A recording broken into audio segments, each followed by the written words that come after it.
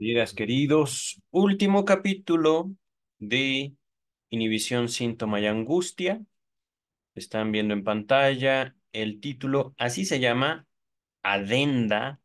No sé qué quiera decir esa maldita palabra. La voy a buscar en mi celular. Adenda. Adenda dice resultado con inteligencia artificial. Una adenda es un complemento de información que se puede agregar a un comprobante fiscal digital por Internet, CFDI.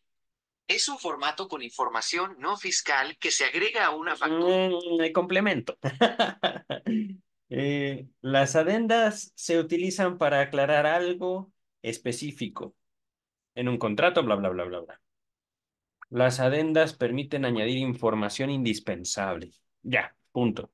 Porque estoy ahorita cortando lo que me dice la inteligencia artificial.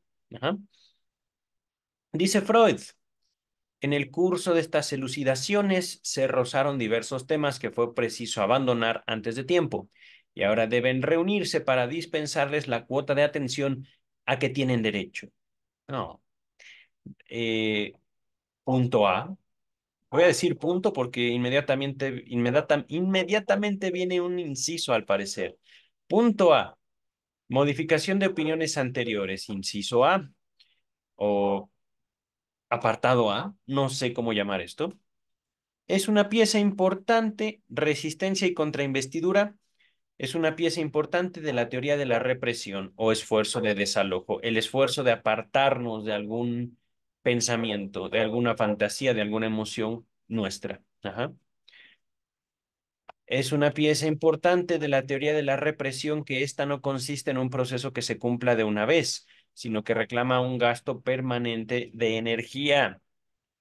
Si este gasto faltara, la moción reprimida que recibe contra que recibe, que recibe continuos aflujos desde sus fuentes retomaría el mismo camino que se esforzaba a desalojar. De esta palabra fe alemana, no quiero pronunciarla, discúlpenme. La represión quedaría despojada de su éxito o debería repetirse indefinidamente. Nota número uno. Veas el texto La represión. Se las dejo en la descripción. Así la naturaleza continuada de la pulsión exige al yo asegurar su acción defensiva mediante un gasto permanente el yo maneja energía, maneja atención, se, se esfuerza para dar lugar, dar un finiquito, acabar, llevar a término alguna moción pulsional o incluso el yo se esfuerza para reprimir una moción pulsional que viene del ello. Ajá. Así, la naturaleza continuada de la pulsión exige al yo asegurar su acción defensiva mediante un gasto permanente. Esta acción en resguardo de la represión es lo que en el empeño terapéutico registramos como resistencia. Y esta última presupone lo que he designado como contrainvestidura. En la neurosis obsesiva es palpable una contrainvestidura así. Se manifiesta como alteración del yo. Nota dos, pero voy a continuar como formación reactiva en el interior del yo, por refuerzo de la actitud opuesta a la orientación pulsional que ha de reprimirse. Por ejemplo, compasión, escrupulosidad de la conciencia moral o limpieza. Antes de continuar, nota 2, véase una nota mía, al parecer del traductor. Este texto todavía no lo tenemos, no lo hemos leído porque está hasta el volumen 23 y ahorita estamos en el 20. Análisis, análisis terminable e interminable, si ustedes gustan leerlo ya, están en toda su libertad. Por el momento vamos a continuar. Estas formaciones reactivas, digamos, como yo estoy haciendo justo lo contrario de lo que yo quiero, de la neurosis obsesiva son, por entero, exageraciones de rasgos de carácter normales, desarrollados en el curso del periodo de latencia. Digamos, una infancia un poco tardía. Dice el texto, más difícil resulta pesquisar la contrainvestidura de la histeria, donde, según nuestra expectativa teórica, es igualmente indispensable. Antes de continuar, al respecto del periodo de latencia que yo hablaba de una infancia tardía, estoy hablando de una preadolescencia, antes de que nosotros sintamos el impulso sexual naciendo en nosotros, antes de que, habiendo adquirido un objeto sexual, un gusto particular por una u otra persona, un, uno u otro sexo, antes de que nosotros pudiéramos decir, tengo deseo de o quisiera esto o aquello, hacer o que me hagan. Ajá. Mm. Agüita. Regresamos al texto. También en la histeria es inequívoca la presencia de cierto grado de alteración del yo por formación reactiva. Y en, y en muchas circunstancias es tan notable que se impone a la atención como el síntoma principal del cuadro. De ese modo se resuelve verbigracia el conflicto de ambivalencia de la histeria. El odio hacia una persona amada es sofrenado por una hiperternura hacia ella y un desmedido temor por su suerte me hizo pensar en mi abuelita. Mi abuelita constantemente está rezando por todos nosotros, aunque también, le soy sincero, mi abuelita ya por su edad y tiene problemas, digamos, neurológicos. Eh, continúa el texto. Empero, como diferencia respecto de la neurosis obsesiva, debe descartarse que tales formaciones reactivas no muestran la naturaleza general de rasgos de carácter, sino que se limitan a relaciones muy especiales. Por ejemplo, la histérica que trata con excesiva ternura al hijo a quien el fondo odia, no por ello será en el conjunto más amorosa que otras mujeres, ni siquiera más tierna, más tierna con otros niños. La formación reactiva de la histeria retiene con firmeza un objeto determinado y no se lo eleva al carácter de una predisposición universal del yo. Es decir, ese objeto no podrá encontrar un eco en, digamos, personas con rasgos similares. Se habla de, una, de un hijo a quien una histérica odia, en realidad, en el fondo, digámoslo así, pero que lo trata con demasiada ternura. Esto podemos también eh, observarlo y en la práctica como una sobreprotección. Ajá. Y en el momento, por ejemplo, en el cual uno le dice, oiga, le preguntamos, ¿usted odia a su hijo? La respuesta no va a ser un no, ¿por qué lo dice? Es un ¿cómo se atreve? Ajá, fuerte y tocar, digamos, esos campos va a despertar no un dolor, sino justamente una resistencia fortísima. Siquiera la representación. Eh, no es, eh, no es, no está de más esa clase de respuestas. Entonces, una mujer que odia al hijo no se va a mostrar amorosa o tierna con otros niños, sino justamente como que, ay, qué asco, niños. Dice el texto, la formación reactiva de la histeria retiene con firmeza un objeto determinado y no se lo eleva al carácter de una predisposición universal del yo. Continuamos. En cambio, lo característico de la neurosis obsesiva es justamente esa generalización, el aflojamiento de los vínculos de objeto, la facilidad del para el desplazamiento en la elección de objeto. Caray. Ahí me hace pensar algunas cosas, doctor Freud. Voy a continuar con el texto, porque es un texto extenso. Mm, voy a omitir la mayor parte de mis comentarios, ¿vale? A menos de que sí note que el texto es muy oscuro. Otra clase de contrainvestidura parece más acorde a la especificidad de la histeria. La moción pulsional reprimida puede ser activada o investida de nuevo, desde dos lados. En primer lugar, desde adentro, por un refuerzo de la pulsión a partir de sus fuentes internas de excitación y en segundo, desde afuera, por la percepción de un objeto que sería deseable para la pulsión. Ahora bien, la contrainvestidura histérica se dirige preferentemente hacia afuera contra una percepción peligrosa. Cobra la forma de una particular vigilancia que evita, mediante limitaciones del yo, situaciones en que por fuerza emergería esa percepción, y en caso de que ésta haya surgido no obstante, consigue sustraer de ella la atención. Autores franceses, véase Lafourge, así lo estoy leyendo, no sé cómo se pronuncia, han designado recientemente esta operación de la histeria mediante el nombre de escotomización. Nota número tres.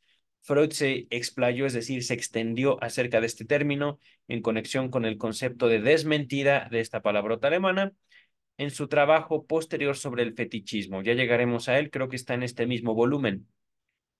Dice el texto, en las fobias cuyo interés se concentra en distanciarse cada vez más de la percepción temida, esta técnica es aún más llamativa que en la histeria. La oposición en la orientación de la contrainvestidura entre histeria y fobias, por un lado, y neurosis obsesiva, por el otro, parece sustantiva o importante, pero no es absoluta. Cabe suponer que existe un nexo más estrecho entre la represión y la contrainvestidura externa, así como entre la regresión y la contrainvestidura interna, o la alteración del yo por formación reactiva. Aquí, queridas, queridos, pienso yo que este, esta palabrita, que realmente Freud casi no la, no la usa, contrainvestidura, es algo que podría causarnos alguna dificultad es básicamente el esfuerzo del yo para sostener la represión. Digamos, no solo es un no pienses en eso, sino el esfuerzo que hay que, que continuar sobre una pulsión, un representante de la pulsión, un deseo que no se va a quedar con un ya me dijeron que no, entonces ni modo. No, la pulsión va a seguir ahí el deseo va a habitarnos aun cuando nosotros lo neguemos. Contra investidura interna, entonces, y contra investidura externa. Eh, ahorita voy a continuar en el texto. Eh, tal vez se me ocurran otros ejemplos, porque seguramente esta, estos, estas palabras de contrainvestidura van a repetirse a lo largo de al menos este apartado. Dice el texto, la defensa contra la percepción peligrosa es, por lo demás, la tarea, una tarea universal de las neurosis. Diversos mandamientos y prohibiciones de la neurosis obsesiva están destinados a servir a este mismo propósito. Perdón, creo que no, no, no me buscan ahorita. Ya tenemos en claro que antes de la, antes, nota 4, pero voy a continuar, antes que la resistencia que debemos superar en el análisis es operada por el yo, que se afirma en sus contrainvestiduras. ¿Qué? Eh, está horrible esta redacción y aquí yo creo que sí es responsabilidad de Freud. ¿Qué tenemos en claro, doctor Freud? Debe ser esto, la resistencia es operada por el yo. Ajá. Se afirma en sus contrainvestiduras. Nota número cuatro. Véase el yo y el ello, se los dejo en la descripción. Puede ser que aquí haya leído algo mal, pero digamos, pienso haberlo corregido. Es difícil para el yo dirigir su atención a percepciones y representaciones de cuya evitación había hecho hasta entonces un precepto, o reconocer como suyas unas mociones que constituyen lo más totalmente opuesto a lo que le es familiar como propio.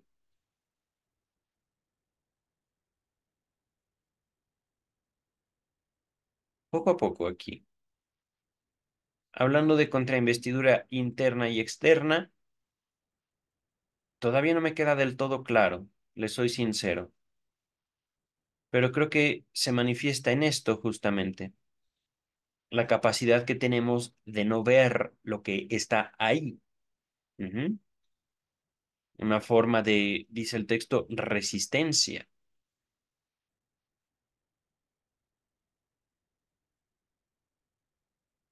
O justamente reconocer como suyas unas mociones que constituyen lo más opuesto a lo que le es familiar como propio es un poco difícil esta, esta lectura o esta, esta forma de exposición de Freud. Nuestro combate en, en análisis, no en una psicoterapia, digamos, para el año 2024, contra las resistencias en el análisis se basa en esa concepción de ellas, Hacemos consciente la resistencia toda vez que, como es tan frecuente que ocurra, ella misma es inconsciente a raíz de su nexo con lo reprimido. Si ha devenido consciente o si después que lo ha hecho, le contraponemos argumentos lógicos y prometemos al yo ventajas y premios, se abandona la resistencia. En cuanto a la resistencia del yo, entonces no hay nada que poner en duda o rectificar. En cambio, es cuestionable que ella sola recubra el estado de cosas que nos sale al paso en el análisis. Hacemos la experiencia de que el yo sigue hallando dificultades para deshacer las represiones aún después que se formó el designio de resignar sus resistencias, y llamamos reelaboración, a la fase de trabajoso empeño que sigue a, este, a ese loable designo. Nota número 5 al respecto de la palabra elaboración que proviene de esta palabrota alemana. Veas el texto, recordar, repetir y reelaborar lo encontrarán en la descripción. El traductor continúa. Freud volvió sobre el tema en la sección sexta de el texto análisis terminable e interminable. Gracias, Strachey, todavía no lo tenemos. Pero fíjense esta cosa, eh, esta forma, digamos, de trabajar a Freud. No es un, bueno, aquí lo que el maestro quiso decir, bueno, aquí se trata de seguirle el hilo del pensamiento, bueno, no, es más bien como Freud ahorita está exponiendo un texto alrededor de eh, una formulación sobre eh, la inhibición, el síntoma y la angustia, este, se entiende justamente que se está tratando Freud de enfocar a una fuerza, a una dinámica entre fuerzas eh, constitucionales, conflictos al interior del individuo, lo inconsciente justamente como un proceso o como un producto de ese conflicto, y al mismo tiempo está haciendo una descripción de lo que él hace como técnica dentro de, sus, de su propia práctica analítica, no médica. Eh, por supuesto, de todo esto, los discípulos hicieron otra cosa. Algo que iremos viendo en la historia del movimiento psicoanalítico es lo que ocurre con la elaboración de Freud después de la muerte de Freud. Ya llegaremos a su tiempo con Melanie Klein Llegaremos también a su tiempo con Jacques Lacan y sin duda también algo que me emociona después de terminar toda la obra freudiana, que yo le calculo más o menos un año, abordaremos la biografía completa de Sigmund Freud. Al menos un par. Bueno, vamos a empezar con la de Ernest Jones, la biografía oficial, y después veremos qué más encuentro, ¿vale? Eh, continúo con el texto. Eh, entonces, dice Freud, ahora parece indicado reconocer el factor dinámico que vuelve necesaria y comprensible esta reelaboración de la que estamos hablando, digamos como una reapropiación de las represiones, de lo que fuerza al organismo o, perdón, al aparato anímico, al aparato psíquico, a las resistencias. En otras palabras, no es tanto que una resistencia sea a la voluntad del analista a curar de una neurosis, sino se trata de que el neurótico va a sostener su conflicto neurótico porque le aporta algo. Es decir, y esto lo hemos visto particularmente en los dos últimos videos, si nos acercamos al psicoanálisis como una forma de imponer nuestra voluntad a nuestros pacientes, entonces no es este su canal. Cierren el video y vayan a ver otra cosa sobre eh, autoayuda, que por cierto es eh, no algo malo per se la autoayuda, pero esa es la intención, ayudarles a ejercer su voluntad sobre la voluntad de otras personas. Y ahí, por supuesto, está tanto el pecado como la penitencia. Si ustedes quieren que otras personas reconozcan su valía y su voluntad como más valiosa que la propia, es posible que lo logren, pero el costo para ustedes va a ser considerable, queridas y queridos. Así que están ustedes en su derecho y por supuesto en su responsabilidad de ejercer la técnica psicológica que ustedes gusten y manden. Eh, regresando ahorita al texto, si nosotros nos acercamos al psicoanálisis como una práctica científica, como una práctica que pretende aclarar lo que es la mente humana desde un punto de vista que parte de la medicina pero que se independiza de ella, entonces nos acercamos a una constitución, digamos, eh, no solo teórica, sino también práctica. Aquí, por ejemplo, Freud está hablando acerca de lo que él busca en cuanto al estudio técnico, es el método de estudio, voy a ponerlo así, la relación analítica como una, ¿cómo decirlo?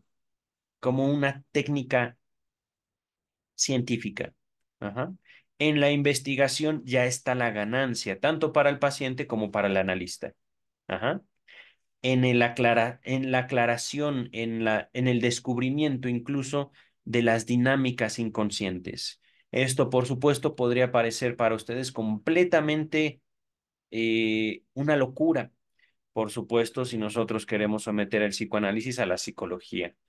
Lo que les invito, por supuesto, también es a considerar el psicoanálisis como una disciplina independiente de la psicología. Una, una disciplina que tampoco se somete a la ética médica, porque primero que nada reconoce, digamos, eh, el derecho a la voluntad, incluso a una voluntad inconsciente. ¿Qué es lo que estamos leyendo? Es decir, podemos, decir, podemos decirlo de otra forma, la resistencia no es algo malo por sí sola, no es algo malo per se.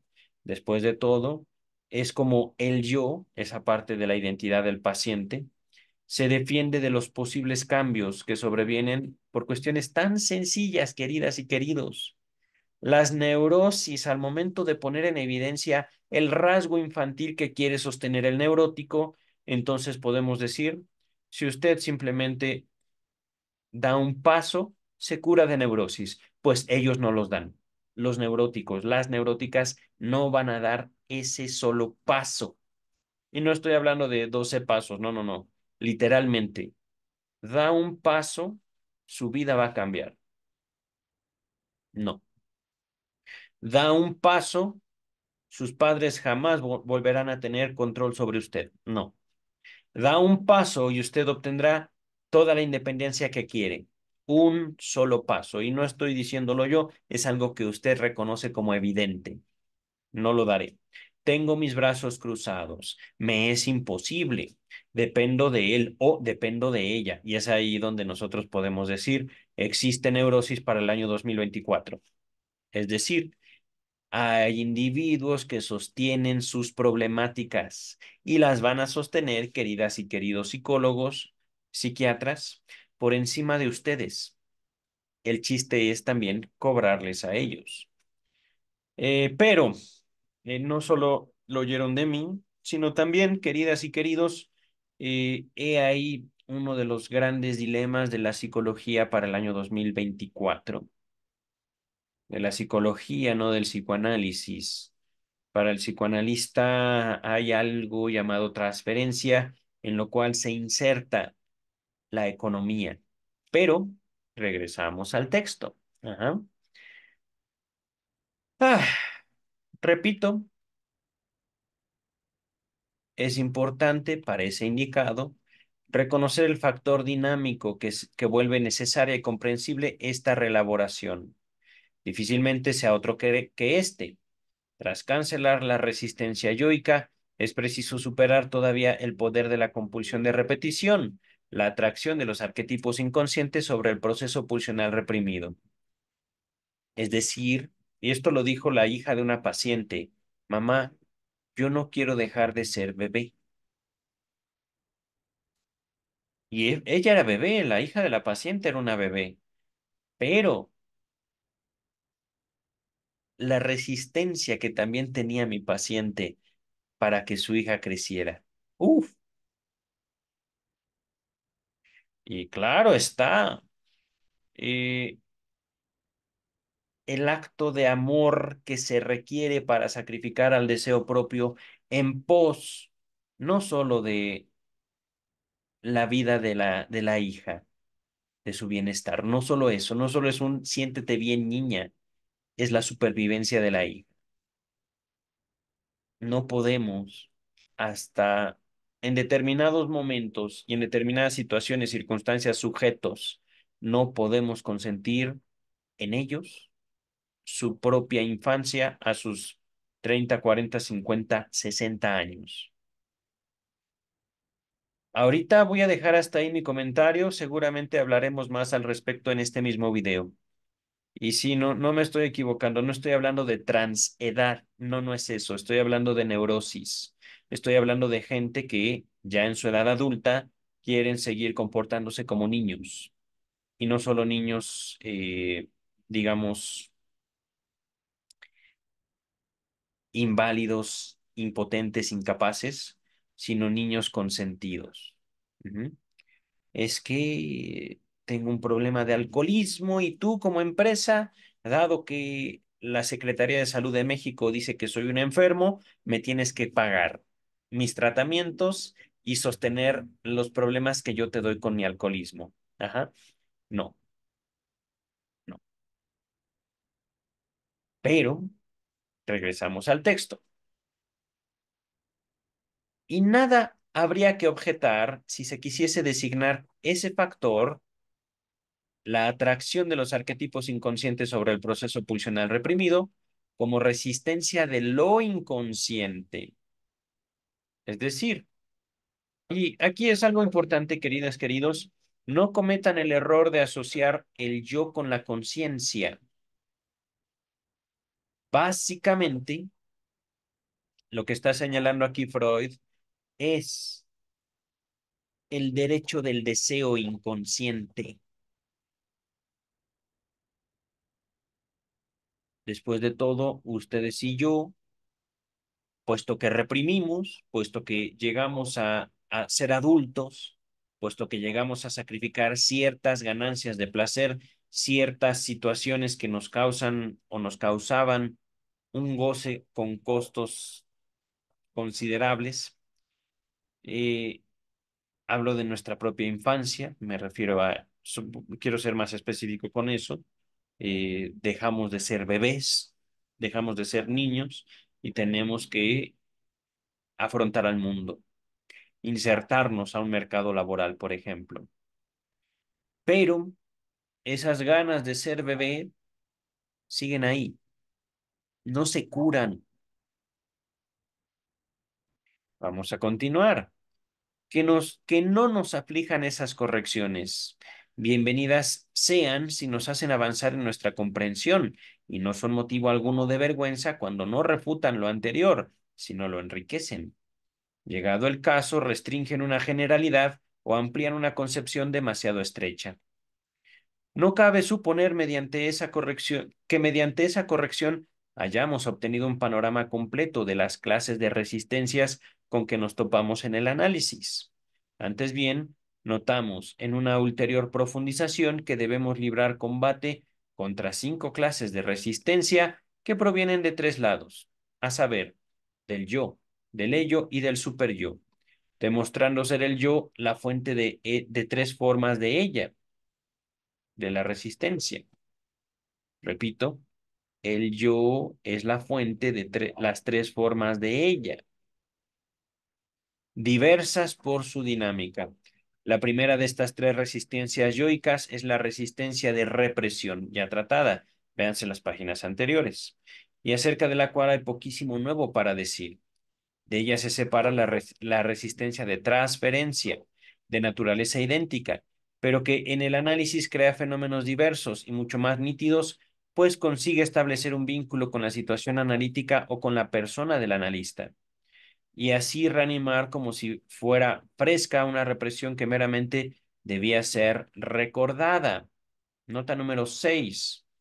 Véase recordar, repetir y elaborar, y sin duda el capítulo pasado y antepasado de inhibición, síntoma y angustia. Y aquí debo señalar que tengo una discordancia, estoy en un desacuerdo con Freud porque Freud señala que la transferencia es un fenómeno universal, yo no estoy de acuerdo.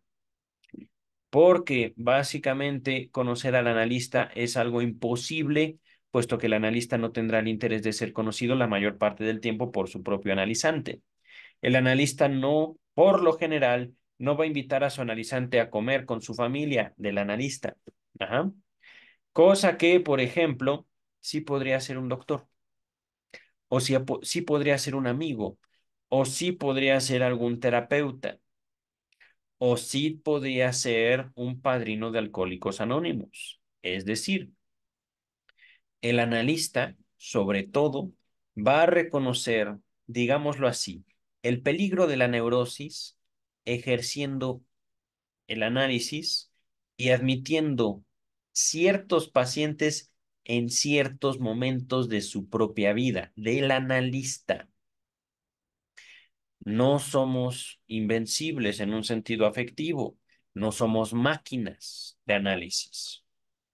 Tenemos como analistas, no como psicólogos, no como terapeutas, como psicoanalistas, tenemos que estar al pendiente de nuestra propia vida afectiva.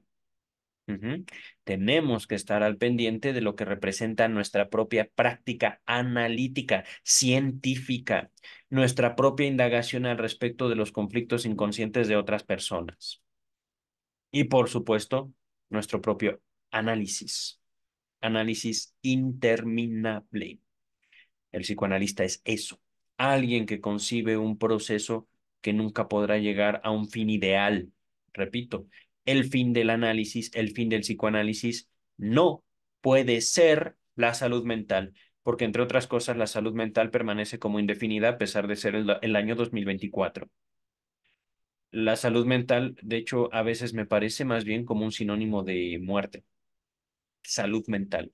Uno no tiene que estar feliz, uno no tiene que estar triste, uno no tiene que estar eh, demasiado atento, demasiado disperso, uno no tiene que ser eh, brillante ni, ni tonto, uno no tiene que ser nada para ser eh, algo así como un modelo de salud mental por supuesto, esto es algo que sigo desarrollando y que, por supuesto, podemos debatir en algún momento dado.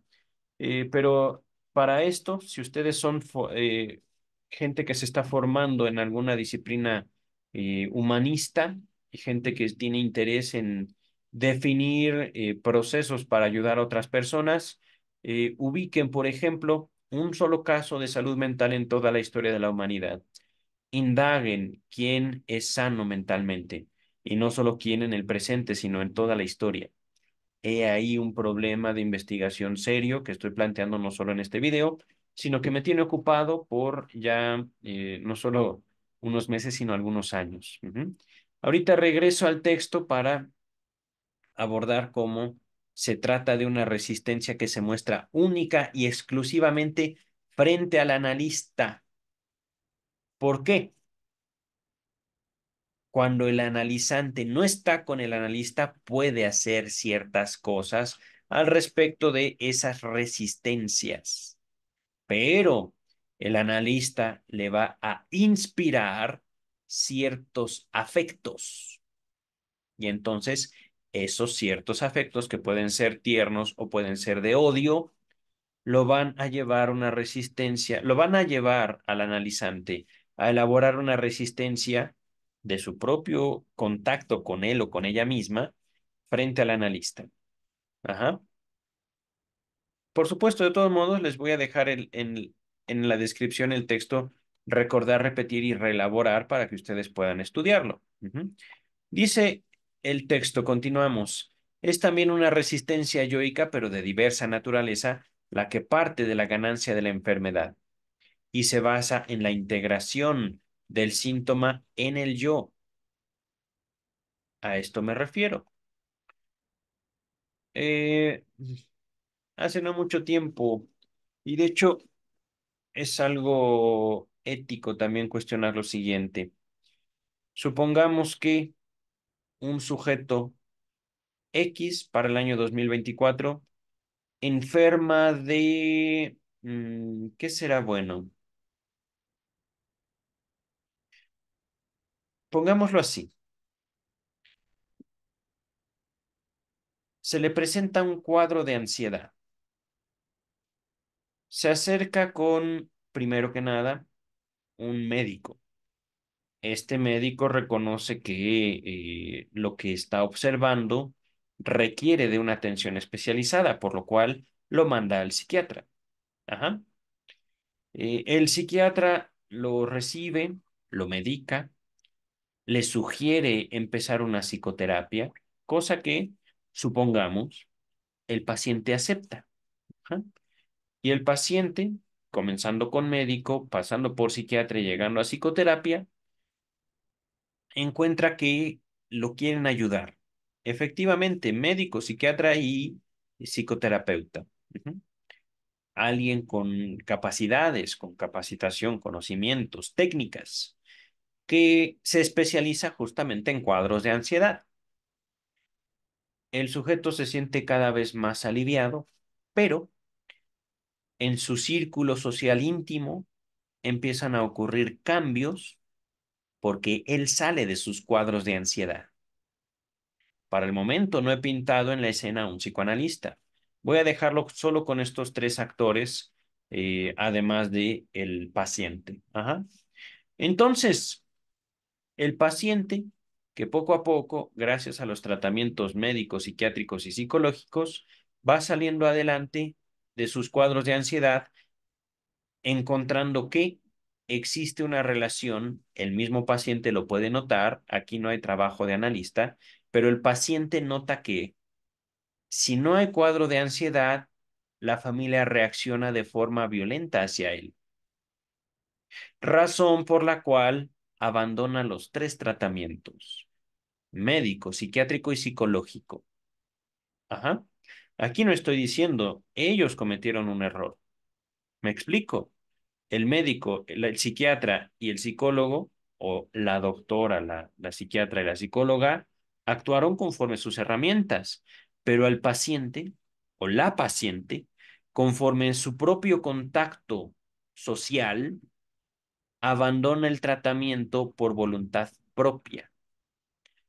Para sostenerse dentro de su núcleo social, para sostener una relación de pareja, para sostener un trabajo en particular, para sostenerse a sí mismo o a sí misma en una condición económica estable, por ejemplo. ¿Obligarían a ese paciente a emprender los tratamientos de nuevo? ¿Qué harían ustedes como pacientes? ¿Su salud está primero? ¿Y qué tal, por ejemplo, si la pareja de este paciente le dice, me siento muy mal, me voy a hacer daño, por ejemplo? Chantaje, sí, pero ese paciente lo cree.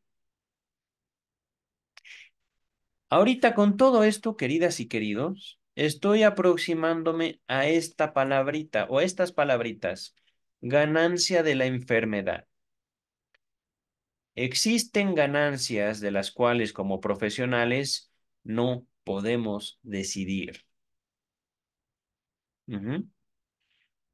Ganancias económicas, ganancias sociales, ganancias subjetivas, por ejemplo, mi propia moral o la moral del paciente, se siente bien consigo mismo.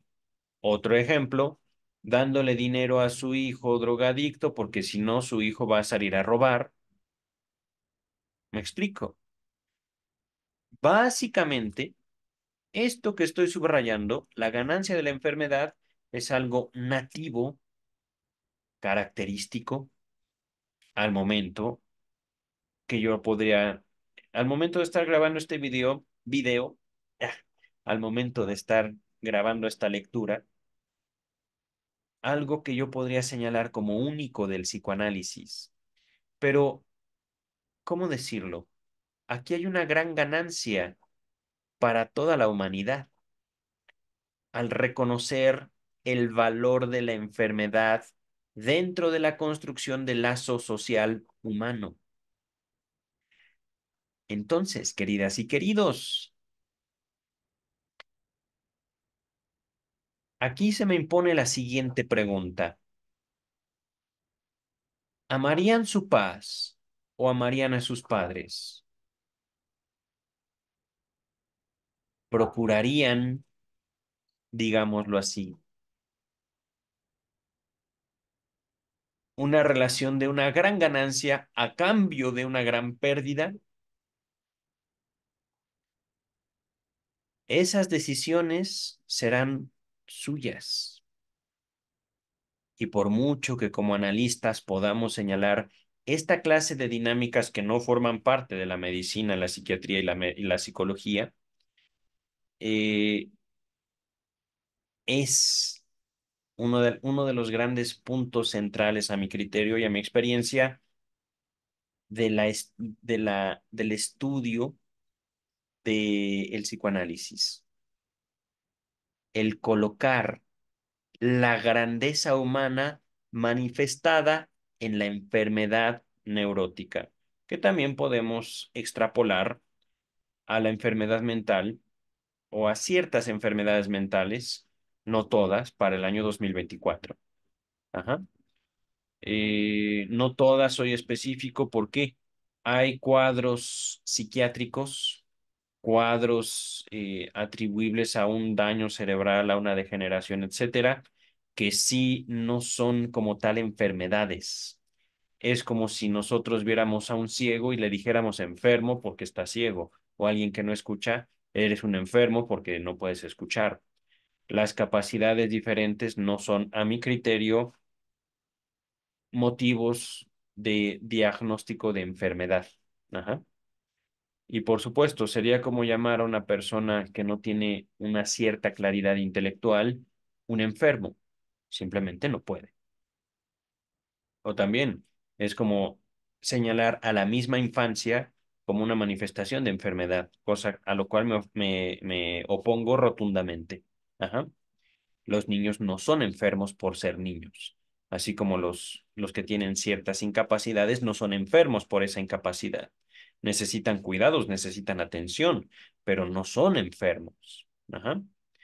Ahorita regresamos al texto. Dice el doctor Freud, hablando de la resistencia yoica por la ganancia de la enfermedad. Es decir, el yo obtiene una ganancia, al momento no sabemos cuál, puede tener muchas dimensiones esa ganancia, por una enfermedad específicamente neurótica. Aunque también podemos hablar de, gracias a que me dio gripe, falté hoy al trabajo y qué bien me siento, por ejemplo, ¿no? Y eso no es un ejemplo real, es simplemente un ejemplo hipotético. Regresamos al texto corresponde a la renuncia, perdón, a la renuencia, al rechazo a renunciar a una satisfacción o a un aligeramiento.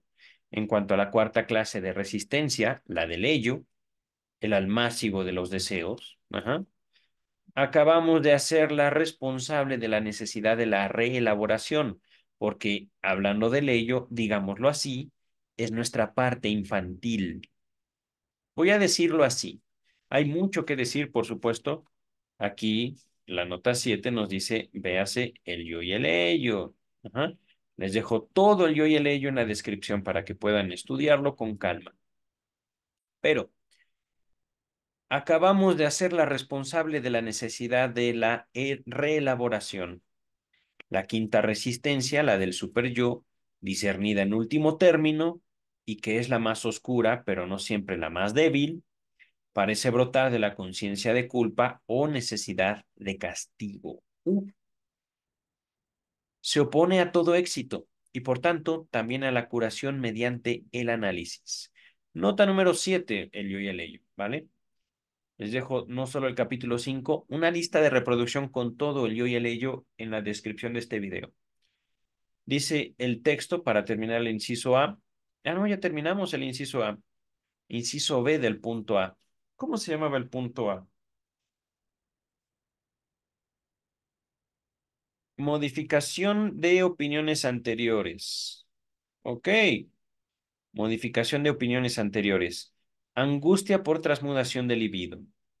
Libido, energía sexual, que quiere decir eh, básicamente los empeños que tenemos para acercarnos a algo de nuestro interés. Lo voy a definir así, someramente, muy superficialmente. Dice el texto, permítame, agüita. Mm. La concepción de la angustia sustentada en este ensayo se distancia un poco de la que me parecía justificada hasta ahora. Antes yo consideraba la angustia como una reacción general del yo bajo las condiciones del displacer. En cada caso procuraba dar razón a su emergencia en términos económicos, es decir, en el manejo de la energía, digámoslo así. La posibilidad de influir sobre nuestro propio decurso de representación maldita. Sea, me estoy oyendo muy abstracto. La capacidad que tenemos de podernos apropiar o distanciar de lo que nosotros hemos producido. El gasto de energía que nos implica un contacto con nosotros mismos. Continuamos. Y apoyado en la indagación de las neurosis actuales, no recuerdo, aquí la verdad no me acuerdo cuáles son estas. Lo podemos investigar en otro momento. Eh. Dice Freud, suponía que una libido o excitación sexual desautorizada por el yo y no aplicada hallaba una descarga directa en la forma de angustia. Por ejemplo, voy a hacer, este ejemplo lo he puesto muchas veces, pero creo que es acertado.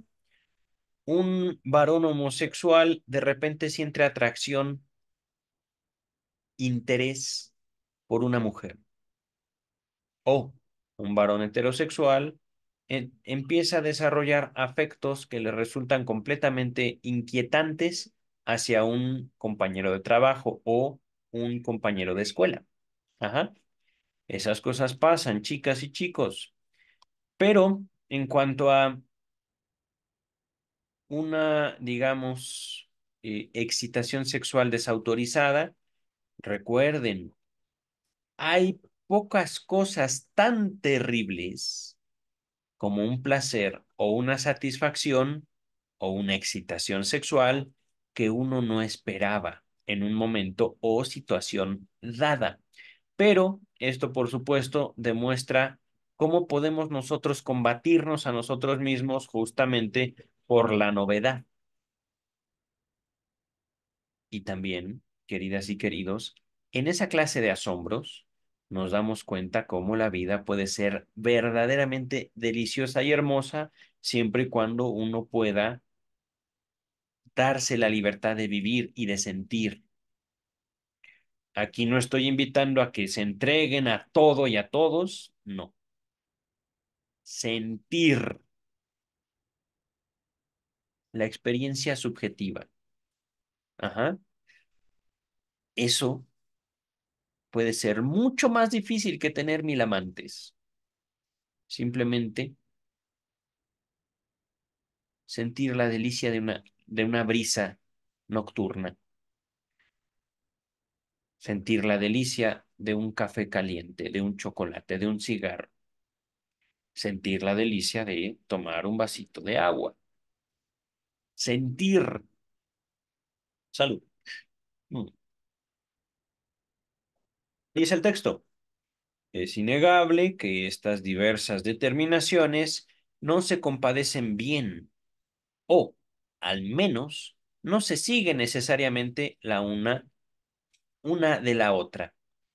Además, surgió la apariencia de un vínculo particularmente estrecho entre angustia y libido, que a su vez no armonizaba con el carácter general de la angustia como reacción de displacer. Aquí hay algo, la nota 8, no vi dónde, dónde estaba. Ah, aquí mira, términos económicos. Ah, ay, fea palabra. Esta palabra solo aparece en la primera edición de este texto, 1926, habiéndose habiendo sido omitida sin duda por accidente en todas las posteriores. Ah, ok, gracias, no me dijiste nada, pero gracias, Strachi.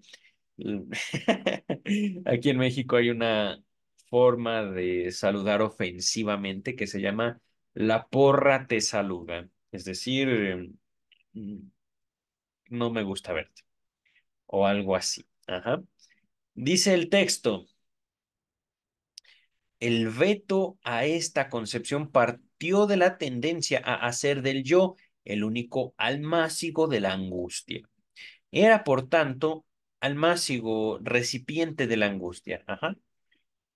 Era, por tanto, una de las consecuencias de la articulación del aparato anímico intentada en el texto El yo y el ello, es decir, una cuestión teórica, pero también con cierta evidencia,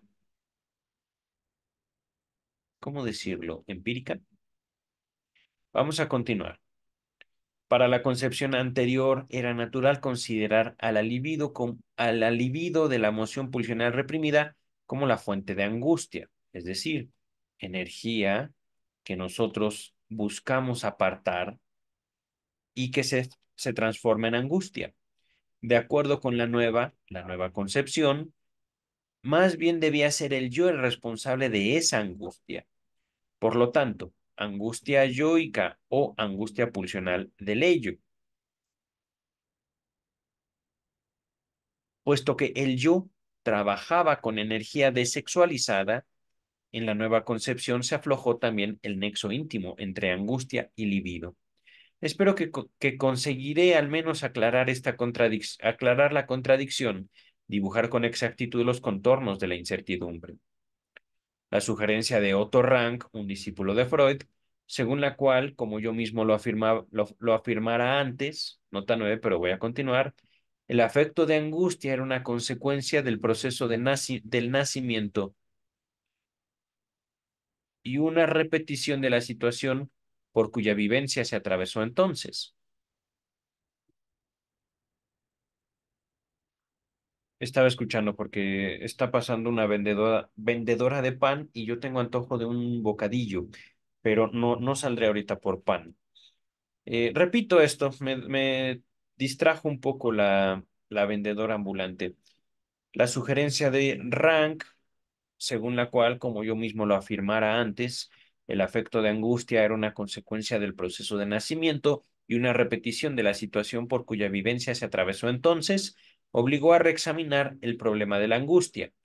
Yo no podía seguirle a su tesis del nacimiento como trauma, del estado de angustia como reacción de descarga frente a él, y de cada nuevo afecto de angustia como un ensayo de abreaccionar, que realmente no se sabe qué es esta palabra, el trauma de manera cada vez más acabada. Digamos como trabajar, digamos como aproximarnos, digamos como revivirlo. Dice el texto, así nos vemos precisados a remontarnos de la reacción de angustia a la situación de peligro que estaba tras ella, digamos que era antecesora de la, de la angustia. O podemos decir, es un requisito. Si no hubo ninguna situación de peligro, entonces la angustia sobra. No puede ser, no puede haber. Al introducirse ese factor surgieron nuevos puntos de vista que debían ser considerados.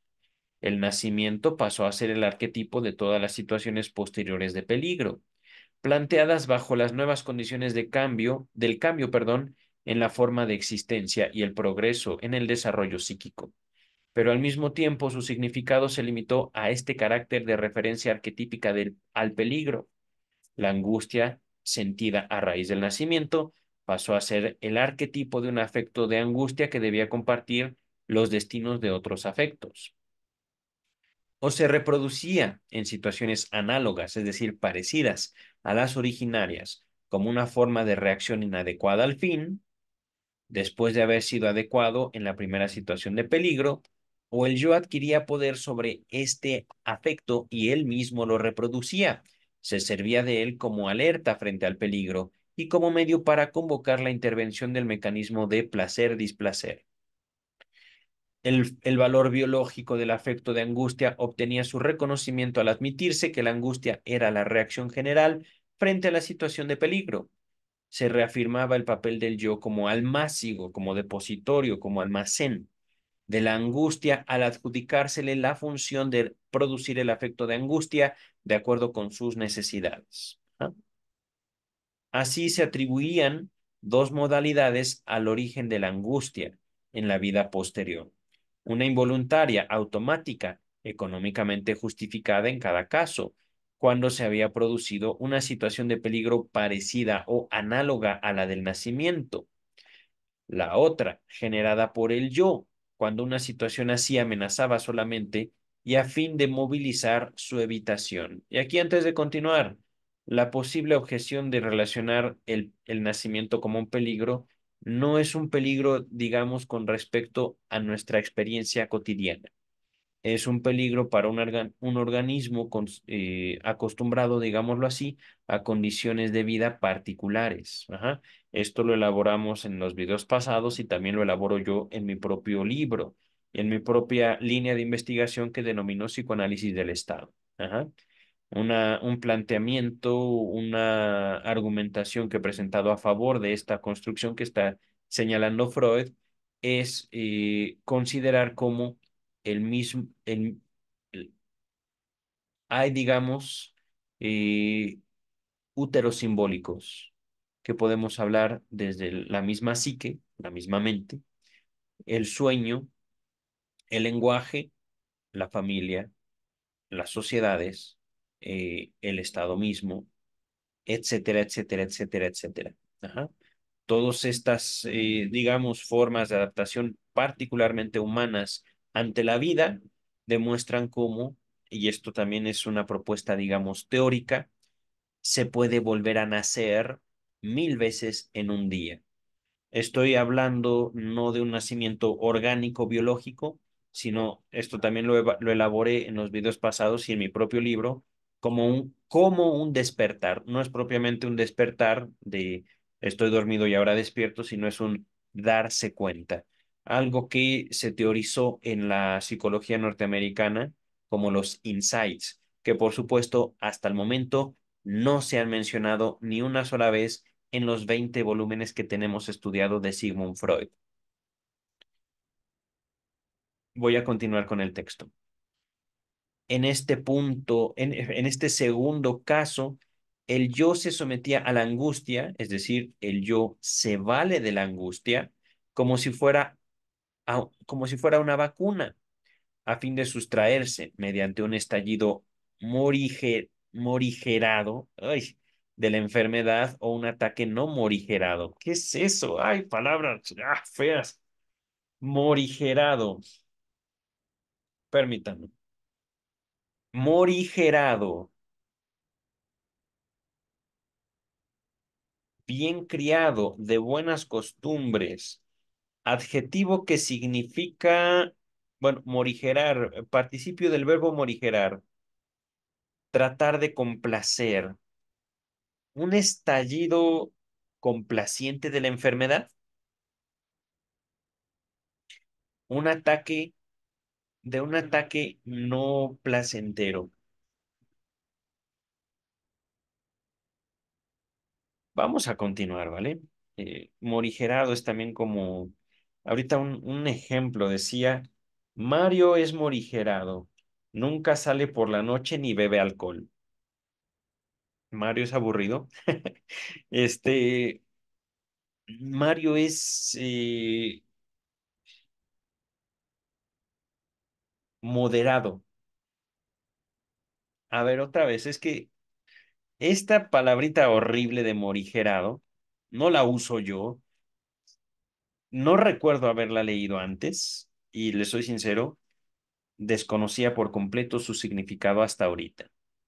Moderado. ¿Por qué no poner moderado? En este segundo caso, el yo se sometía a la angustia como si fuera una vacuna, a fin de sustraerse mediante un estallido moderado de la enfermedad, de un ataque no moderado, es decir, prefiero mi angustia a papá, por ejemplo, que si papá sabe que yo hice esto o aquello, me va a poner una tunda bárbara. Ajá, por ponerles un ejemplo. papá, el jefe, mamá, el, la pareja, la amante, etcétera, etcétera, etcétera. Y aquí, por, por ejemplo, chicas, chicos, no sé cuántos de ustedes serán padres o madres, pero ¿no saben ustedes de ataques infantiles hacia sus cuidadores? Y a veces esos ataques no son nada moderados. Regresamos al texto principal. El yo se representa, por así decir, vívidamente la situación de peligro, con la inequívoca tendencia de limitar ese vivenciar penoso a una indicación, una señal. Es decir, yo con que vea poquito una mirada de mi pareja, y ya sé que tengo problemas. Una mirada. Y no son problemas de pedir perdón, no son problemas de eh, fue un accidente. No, no, no, no, no, arde Troya. Ajá. Por eso, digámoslo así, la angustia es una herramienta yoica, es una herramienta del yo, de la identidad estructurada, para afrontar el peligro. Dice el texto.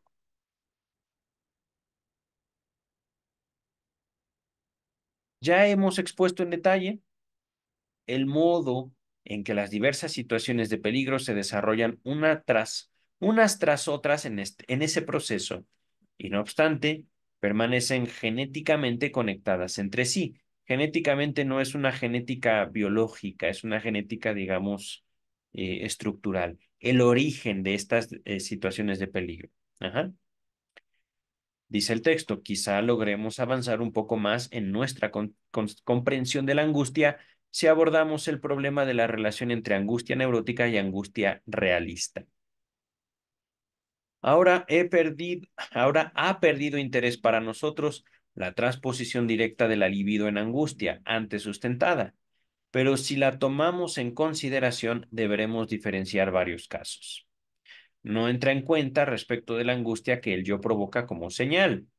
Tampoco, por consiguiente, en todas las situaciones de peligro que mueven al yo a introducir una represión.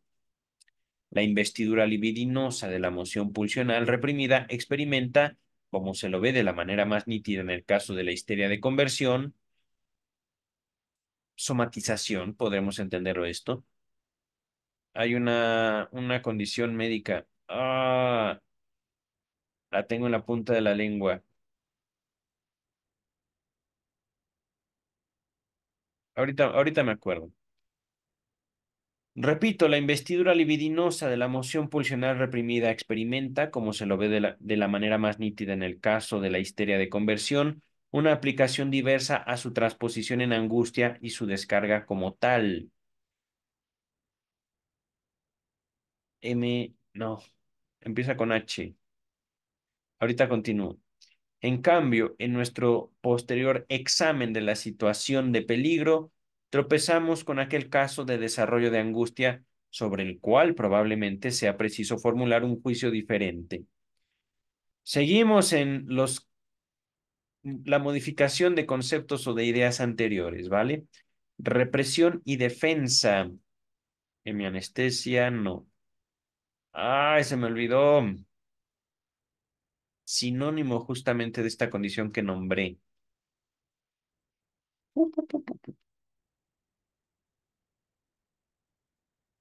Tranquilo, tranquilo. No, no me acuerdo, queridas y queridos. Ahorita vamos a continuar con el texto. Todavía tenemos bastante texto por delante. Represión y defensa. En conexión con las elucidaciones acerca del problema de la angustia, he retomado un concepto, o dicho más modestamente, una expresión. Ay, eso, eso me encantó, doctor Freud del que me serví con exclusividad al comienzo de mis estudios, hace 30 años, y luego había abandonado. Me refiero al término proceso defensivo de esta palabrota alemana. Parece una grosería, ¿no creen? Eh, véase, dice el traductor, las neuropsicosis de defensa, se las dejo en la descripción. Véase también el apéndice A, pues claro está que no lo hemos leído porque sigue después del texto que estamos leyendo. Pero gracias, Strachey. Ya ves que podemos leerlo todo al mismo tiempo. Dice el texto. Después lo sustituí, este término, proceso defensivo, por el de represión o esfuerzo de desalojo. Pero el nexo entre ambos permaneció indeterminado. Ahora opino que significará una segura ventaja recurrir al viejo concepto de la defensa, estipulando que se lo debe utilizar como la designación general de todas las técnicas de que el yo se vale en sus conflictos que eventualmente llevan a la neurosis, mientras que, entre comillas, represión sigue siendo el nombre de uno de estos métodos de defensa en particular, con el cual nos familiarizamos más al comienzo, a consecuencia de la orientación de nuestras indagaciones. Para que se justifique aún de una mera Para que se justifique aún una mera innovación terminológica, debe ser la expresión de un nuevo modo de abordaje o de una ampliación de nuestras intelecciones. Permítame, se me está secando la, garganta. Mm. Pues bien, volver a utilizar el concepto de defensa y limitar el concepto de represión da razón de un hecho hace tiempo notorio, pero que ha cobrado importancia o significatividad en virtud o gracias de algunos descubrimientos más recientes. Fue en la histeria donde hicimos nuestras primeras experiencias sobre represión y formación de síntoma. Vimos que el contenido perceptivo de vivencias excitantes, el contenido de representación de formaciones patógenas de pensamiento, son olvidados y excluidos de la reproducción en la memoria, y por eso discernimos en el apartamiento de la conciencia un carácter principal de, la represión histérica. Más tarde estudiamos la, neurosis obsesiva y hallamos que en esta afección los procesos patógenos, es decir, que dan origen al conflicto neurótico, no son olvidados, permanecen conscientes, mas son aislados, entre comillas, de una manera todavía irrepresentable, de suerte que si se alcanza más o menos el mismo resultado que mediante la amnesia histérica pero la diferencia es lo bastante grande para justificar nuestra opinión de que el proceso mediante el cual la neurosis obsesiva elimina una exigencia pulsional no puede ser el mismo que en la histeria. Posteriores, indagaciones nos enseñaron que en la neurosis obsesiva se llega, bajo el influjo o el poder de la revuelta del yo, a la meta de una regresión de las mociones pulsionales a una fase anterior de la libido, que por cierto no, no vuelve superflua una represión, pero manifiestamente opera en el mismo sentido que ésta. Hemos visto por lo demás que la contrainvestidura, cuya existencia es de suponer también en la histeria, desempeña en la neurosis obsesiva un papel muy considerable como alteración reactiva del yo. Aquí prestamos atención a un procedimiento de aislamiento, entre comillas, cuya técnica no podemos indicar todavía, que se procura en expresión sintomática directa y también al procedimiento de la, entre comillas, anulación del, de lo acontecido, digamos como una forma de negación que nos permite casi casi como una alucinación negativa. En una alucinación vemos cosas que no están ahí. Una alucinación negativa es justamente la anulación de lo, de lo acontecido. Es que yo no vi a tu papá. Ajá. Yo no vi a tu papá que me estaba esperando en la entrada de tu casa para reclamarme amablemente que te traje muy tarde, por ejemplo. Dice el texto que ha de llamarse mágico, sí, oh sí, y acerca de cuya tendencia defensiva no pueden caber dudas, pero que ya no tiene semejanza con el proceso de la, entre comillas, represión, estas experiencias son base suficiente para reintroducir el viejo concepto de la defensa, apto para abarcar todos estos procesos de idéntica tendencia. Protección del yo frente a exigencias pulsionales. Y subsumirle la represión como un caso especial. Otra palabra fea para mí. No sé qué significa eso. Permítanme tantito. Y aquí está. Subsumir Otro verbo transitivo. Subsumir es un verbo transitivo que significa incluir algo como componente en una síntesis o clasificación más abarcadora. Considerar algo como parte de un conjunto más amplio o como caso particular sometido a un principio o norma general.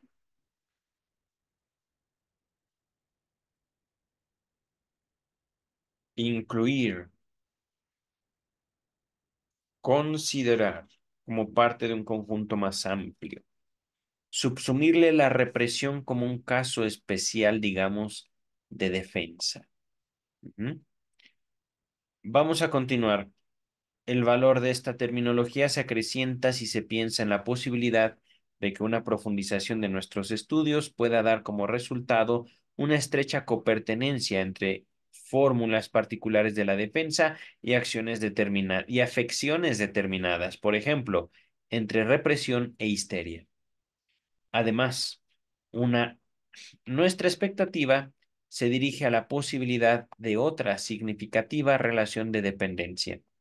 No es difícil que el aparato psíquico, antes de la separación tajante entre yo y ello, antes de la conformación de un superyo, ejerza métodos de defensa distintos de los que emplea luego de alcanzados esos grados de organización. Punto número dos o punto B, complemento sobre la angustia. Permítanme un segundo. A ver. Estamos ahorita en la página 154. Ya no estamos tan lejos, miren. Yo pensé que era todavía mucho más lejos. Eh, nos faltan como seis páginas. 154. Punto B. Qué bien.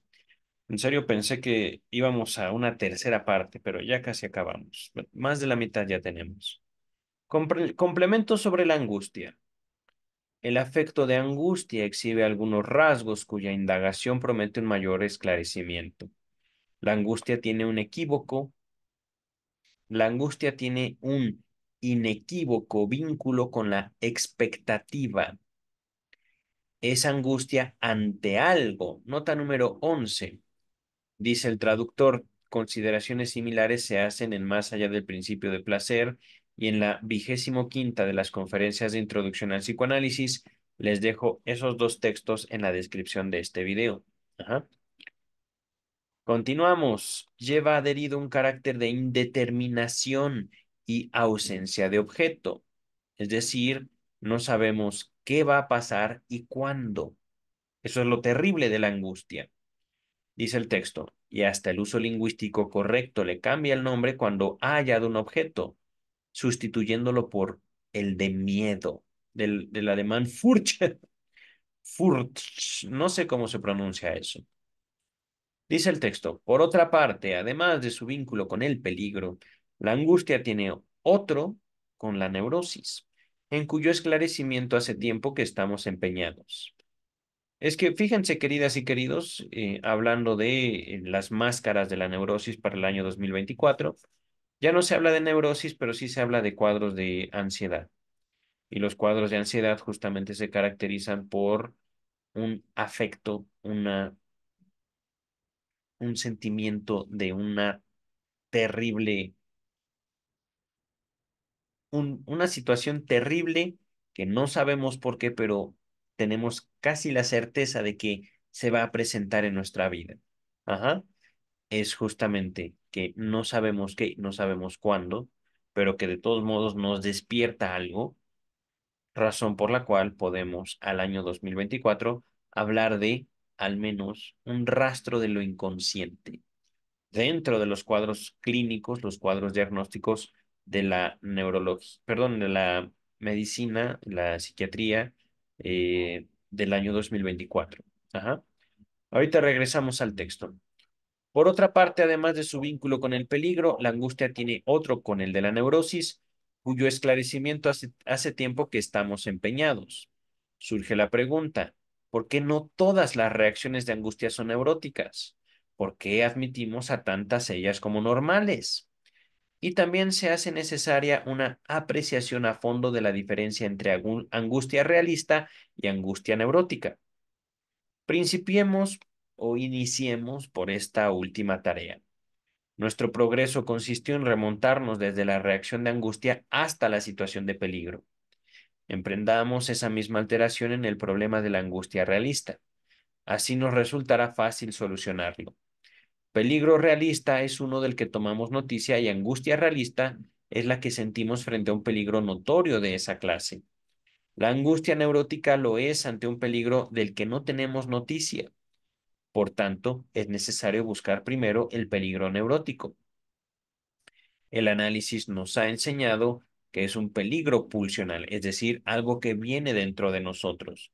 Podemos decir dentro del yo, podemos decir dentro de nuestros deseos y justamente haciendo, haciendo justicia a la elaboración freudiana de un deseo que nosotros no queremos reconocer como propio. Ajá. Tan pronto como llevamos a la conciencia este peligro desconocido para el yo, borramos la diferencia entre angustia realista y angustia neurótica y podemos tratar a esta como aquella. En el peligro realista desarrollamos dos reacciones, la afectiva, el estallido de angustia y la acción protectora. Previsiblemente lo mismo ocurriría con el peligro pulsional. Conocemos el caso de una cooperación adecuada a fines de ambas, ambas reacciones, en que una da la señal para la entrada de la otra, pero también el caso inadecuado al fin, el de la parálisis por angustia, en que una se extiende a expensas de la otra. Hay casos que presentan contaminados los caracteres de la angustia realista y de la neurótica. El peligro es notorio y real, u objetivo, pero la angustia ante él es desmedida, más grande de lo que tendría derecho a ser a juicio nuestro. En este plus se delata un elemento neurótico, infantil. Sin embargo, tales casos no aportan en principio nada nuevo. El análisis muestra que al peligro realista notorio se anuda un peligro pulsional no discernido, es decir, inconsciente, para el, para el que lo siente. Avanzaremos otro paso, no contentándonos tampoco con la reconducción de la angustia al peligro. ¿Cuál es el núcleo, la significatividad, el valor, la importancia de la situación de peligro? Evidentemente, la apreciación de nuestras fuerzas en comparación con su magnitud la admisión de nuestro desvalimiento frente a él, desvalimiento material en el caso de un peligro realista, y psíquico, desvalimiento psíquico, en el caso del peligro pulsional. Estoy aquí aumentando la palabra caso, pero se entiende. Ajá. En esto, nuestro juicio es guiado por experiencias efectivamente hechas. Que su estimación sea errónea es indiferente para el resultado. Llamemos traumática la situación de desvalimiento vivenciada. Tenemos entonces buenas razones para diferenciar la situación traumática de la situación de peligro. Ahora bien, constituye un importante progreso en nuestra autopreservación no aguardar a que sobrevenga una de esas situaciones traumáticas de desvalimiento, sino preverla, estarla, estar esperándola, Llámese situación de peligro a aquella en que se contiene la condición de esa expectativa. En ella se da la señal de angustia. Esto requiere decir, yo tengo la expectativa de que se produzca una situación de desvalimiento, o la situación presente me recuerda a una de las vivencias traumáticas que antes experimenté. Por eso anticipo ese trauma. Quiero comportarme como si ya estuviera ahí, mientras es todavía tiempo de extrañarse de él la angustia es entonces, por una parte, expectativa del trauma y por la otra, la repetición amenguada, es decir, controlada de él. Nuevamente, la angustia sirve. Dice el texto, estos dos caracteres que nos han saltado a la vista en la angustia tienen, a su vez, diverso origen. Su vínculo con la expectativa atañe a la situación de peligro, es decir, se relaciona con la situación de peligro, su indeterminación, su ausencia de objeto, y a la, a la situación traumática del desvalimiento que es anticipada en la situación de peligro. De acuerdo con el desarrollo de la serie angustia, peligro, desvalimiento, que podemos comprender como trauma, podemos resumir la situación de peligro es la situación de desvalimiento discernida o identificada, recordada, esperada. La angustia es la reacción originaria frente al desvalimiento en el trauma, que más tarde es reproducida como señal de socorro en la situación de peligro. El yo, que ha vivenciado pasivamente el trauma, repite ahora de manera activa una reproducción moderada de este, con la esperanza de poder guiar de manera autónoma su decurso. Sabemos que el niño adopta igual comportamiento frente a, a todas las vivencias penosas para él, reproduciéndolas en el juego. Véase más allá del principio de placer. Capítulo 1. Con esta modalidad de tránsito de la pasividad a la actividad procura dominar psíquicamente sus impresiones vitales. Eh, no recuerdo si es capítulo 1 o capítulo 2 de Más allá del principio de placer. pero seguramente esta nota número 12, más allá del principio de placer, regresamos al texto. A ver, aquí me quedo. Si la abreacción, entre comillas, del trauma se entendiera en este sentido, no habría nada más que objetar. Empero, lo decisivo es el primer desplazamiento de la reacción de angustia desde su origen en la situación de desvalimiento hasta su expectativa, la situación de peligro. Y de ahí se siguen los ulteriores desplazamientos del peligro a la condición del, del peligro, así como la pérdida de objeto y sus ya mencionadas modificaciones. Permítame, agüita. Mm. Malcriar, entre comillas, maleducar, consentir. Al niño pequeño tiene la indeseada consecuencia de acrecentar por encima de todos los demás el peligro de la pérdida de objeto, siendo éste la protección frente a todas las situaciones de desvalimiento. Favorece entonces que el individuo se quede en la infancia, de la que son característicos el desvalimiento motor y el psíquico, es decir, yo no sé qué hacer, yo no sé qué pensar, mejor no hago nada, hazlo tú, papá, mamá, pareja, hijo, hija, al infinito, estado.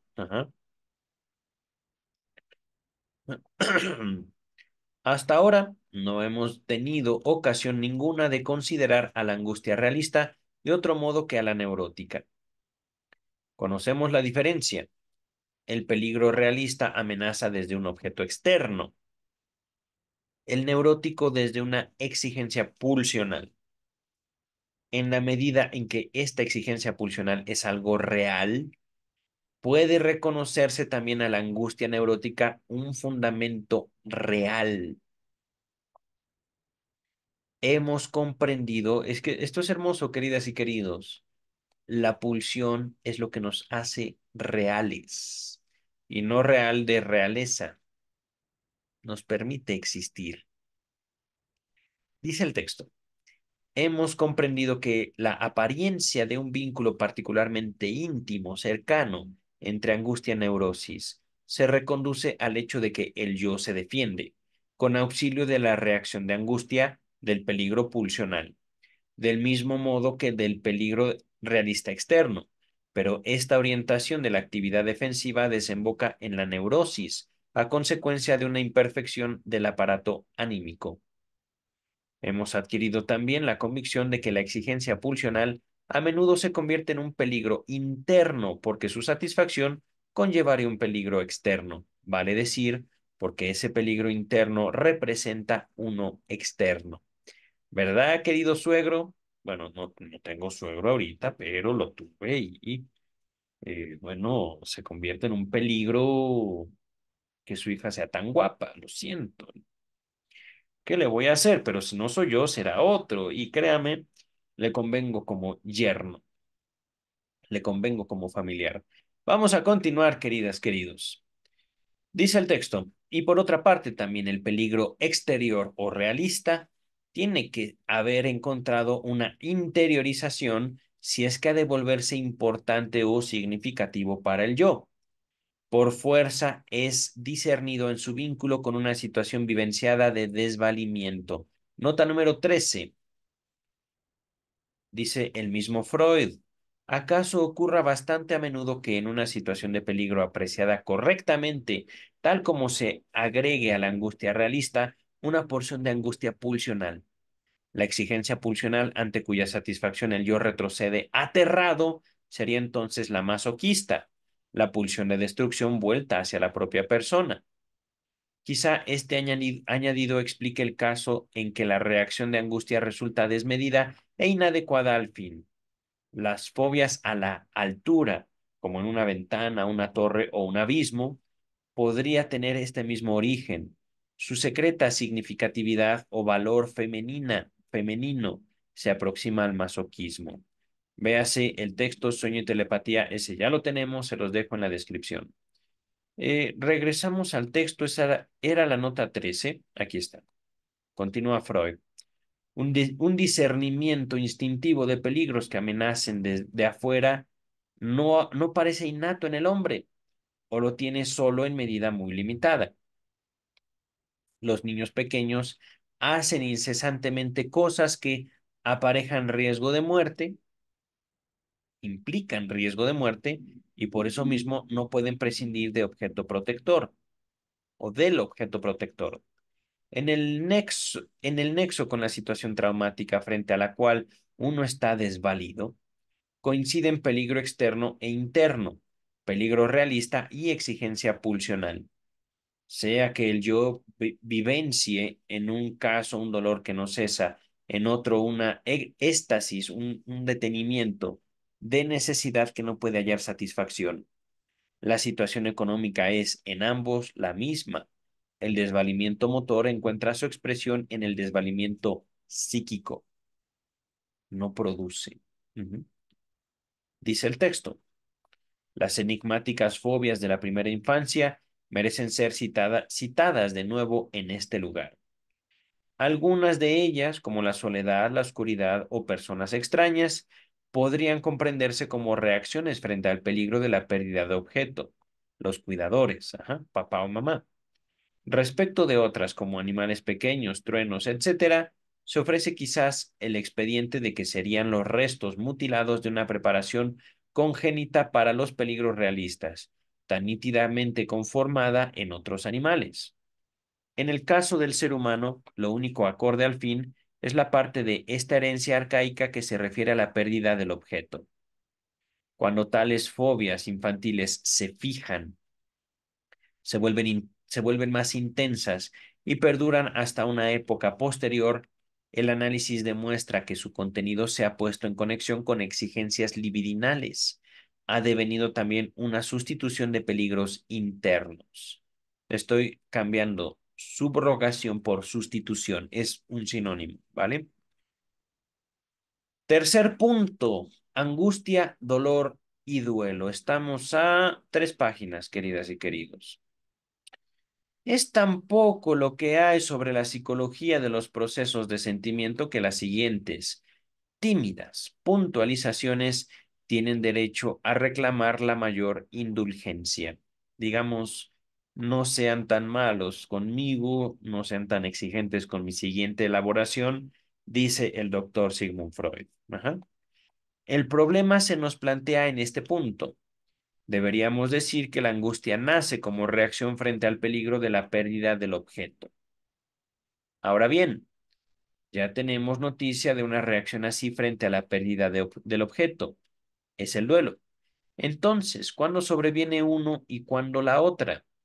En el duelo, del cual ya nos hemos ocupado antes, véase duelo y melancolía, se los dejo en la descripción, ha quedado un rasgo completamente sin entender, su carácter particularmente doliente, es decir, por qué el duelo duele. Nota número 14, duelo y melancolía. Ya estará en la descripción, no se preocupen. Continuamos con el texto. Y a pesar de todo, nos parece evidente que la separación del objeto deba ser dolorosa. Pero entonces el problema se nos complica más. ¿Cuándo la separación del objeto provoca angustia? ¿Cuándo duelo? ¿Y cuándo quizá solo dolor? Y me emociona esa, esa elaboración de usted, doctor Freud. Agüita.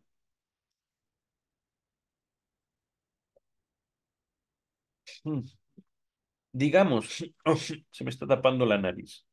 Creo que ah, tendría yo una... Eh, creo que no traigo papel higiénico conmigo. Mm. Vamos a seguir. Ya no estamos tan lejos.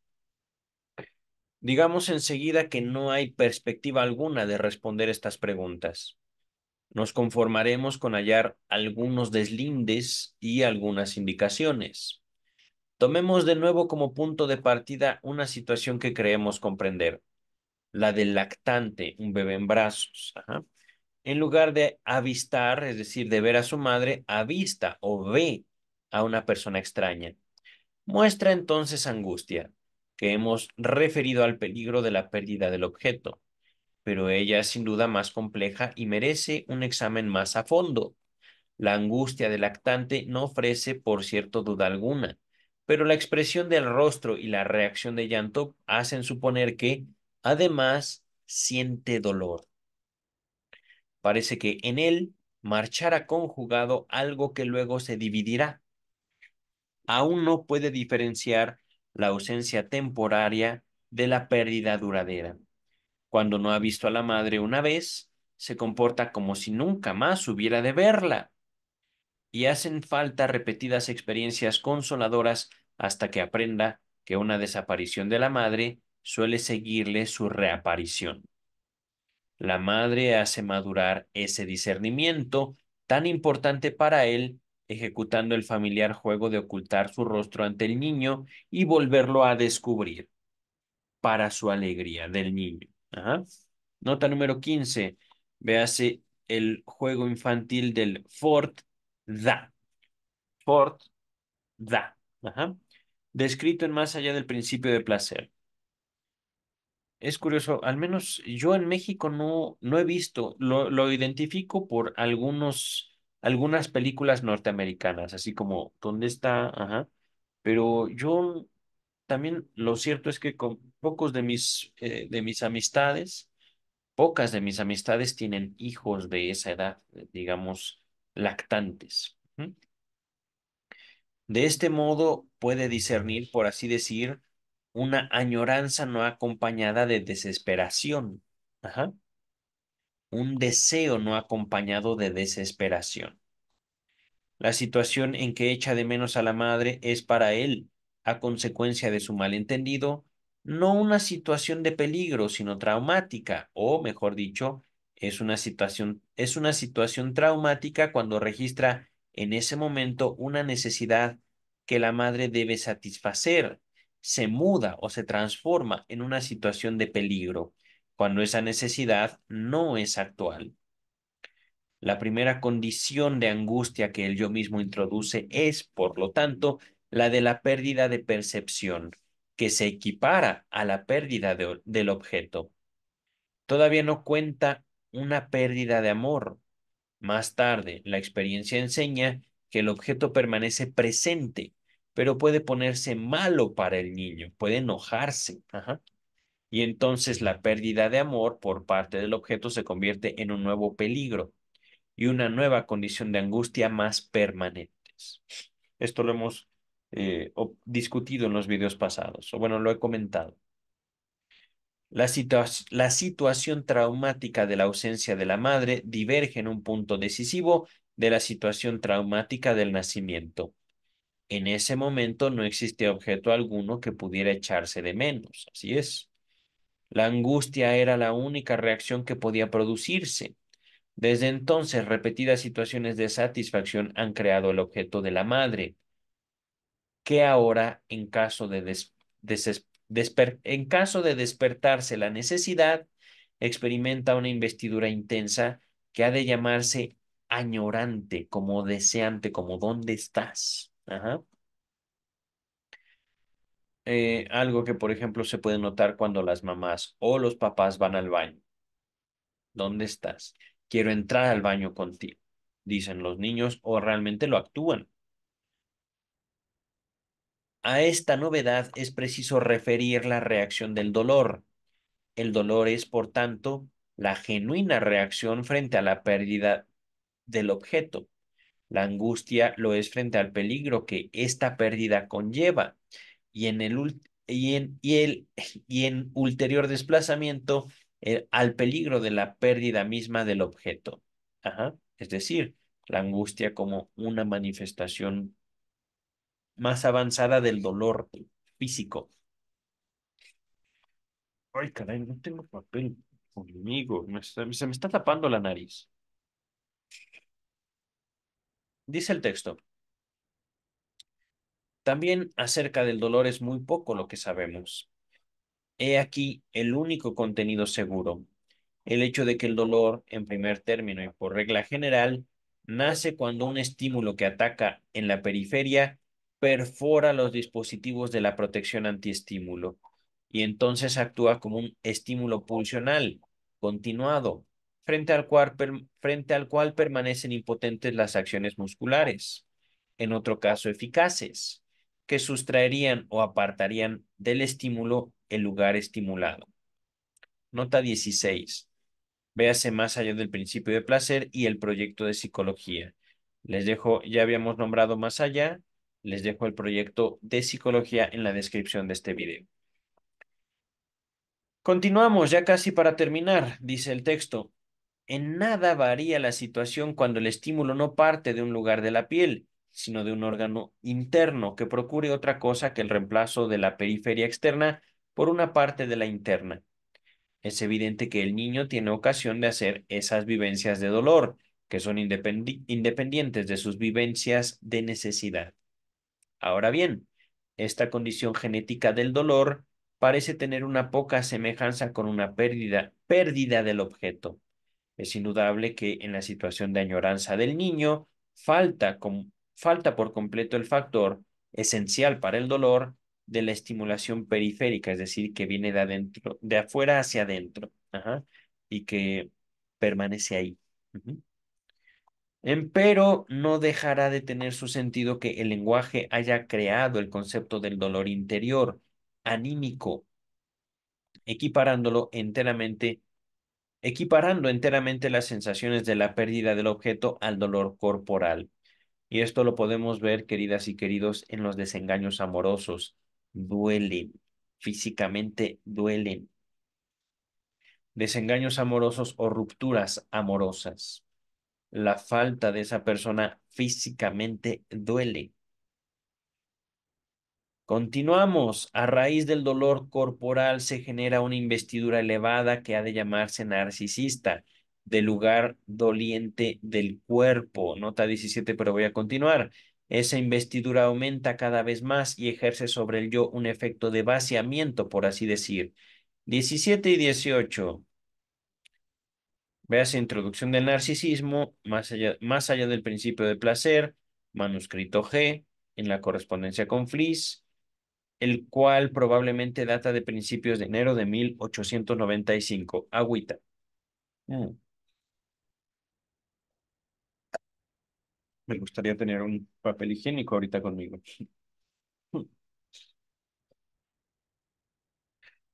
Permítame un segundo, aquí me quedé. Eh, Recuerdo tener un papel higiénico por aquí. Voy a pausar el video. Permítanme un segundo. Ahorita regreso. Listo, e-, es algo curioso. Mm, ya tengo papel higiénico conmigo, pero eh, me, mi nariz se me descongestionó en cuanto yo me paré de, del lugar donde estoy sentado. Eh, continuamos ahora sí con el texto. Es sabido que con motivo de dolores en órganos internos, recibimos representaciones espaciales y otras partes del cuerpo que no suelen, no suelen estar representadas, subrogadas en el representar consciente, es decir, en el cual no solemos pensar, no solemos poner mucha atención. Ajá. También es notable el hecho de que a unos dolores corporales más intensos no se producen, no es lícito decir aquí permanecen inconscientes, sin un interés de otra, de otra, si un, si un interés de otra índole provoca distracción psíquica, haya su explicación en el hecho de la concentración de la investidura de la, en la agencia representante psíquica del lugar doliente del cuerpo. Maldito lenguaje técnico, doctor Freud. Ah, a ver, a ver, a ver. Denme un segundo mientras tomo agüita. Mm.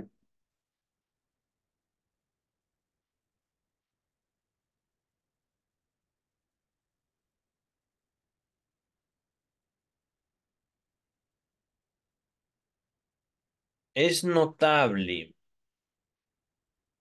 observar que los dolores intensos no se producen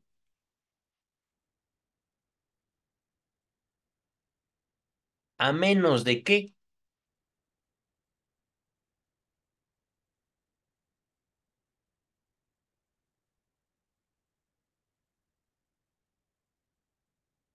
ese lugar adquiera una particular importancia para el sujeto.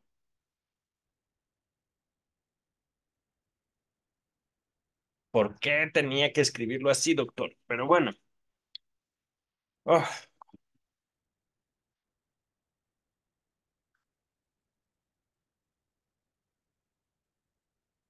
Dice el texto. Pues bien, en este punto parece residir la analogía que ha permitido aquella transferencia de la sensación dolorosa al ámbito anímico.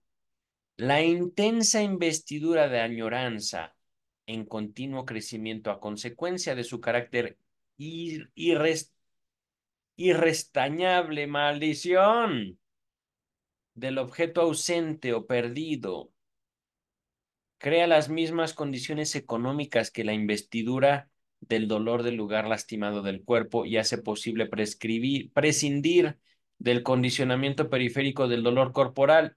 Aquí no entendí nada. Gracias, Freud, en serio, ¿no? Es que...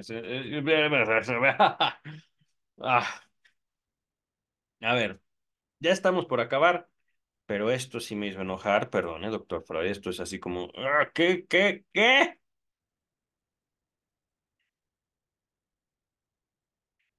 Las ganas Estoy leyendo Intensa investidura de añoranza.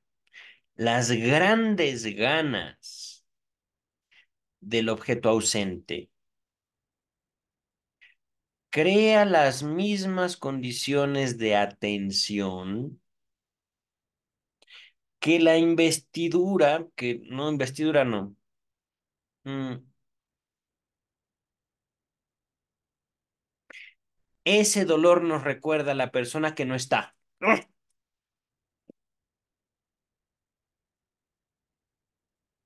Hace posible omitir un factor externo. Ya, así.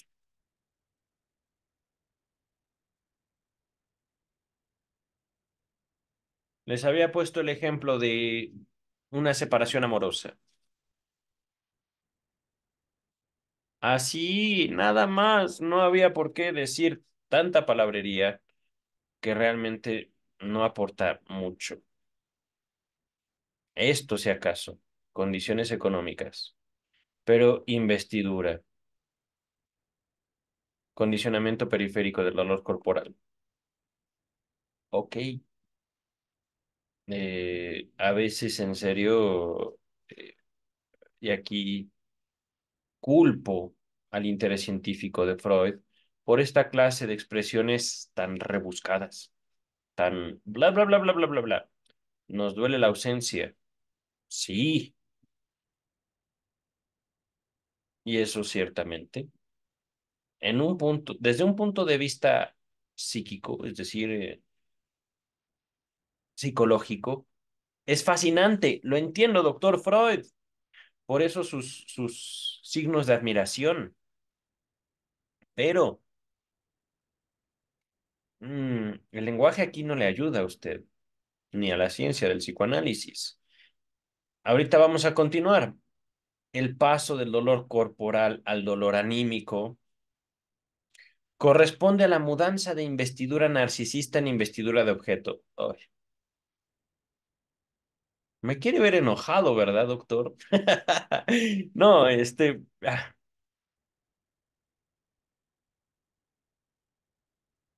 Pasamos